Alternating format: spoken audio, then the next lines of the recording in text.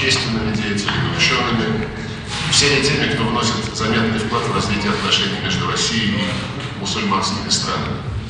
В уходящем году ситуация на пространстве Ближнего Востока и Северной Африки, к сожалению, продолжала деградировать. Обосновавшиеся там террористы и экстремисты, включая прежде всего группировку так называемого исламского государства, захватили обширные территории и совершали чудовищные преступления. Создав плацдарм в Сирии и Ираке, ИГИЛ нацеливается на господство в исламском мире, да и за его пределами. Мы решительно отвергаем попытки.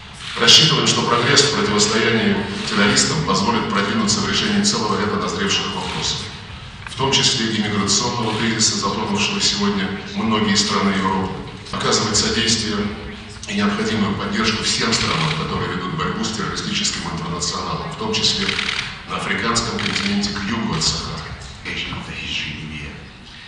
This occasion is of prime importance to all Muslims and non-Muslims alike. For events 1436 years ago marked the beginning of the spread of Islam and the establishment of the first Muslim community in Medina.